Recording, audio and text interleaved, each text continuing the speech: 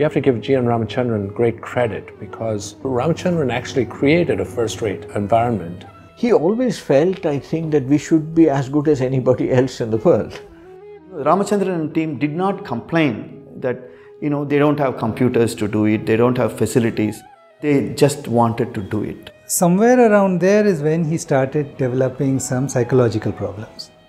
With all that he was managing, none of it stopped his work. GNR was bent on proving that he was right.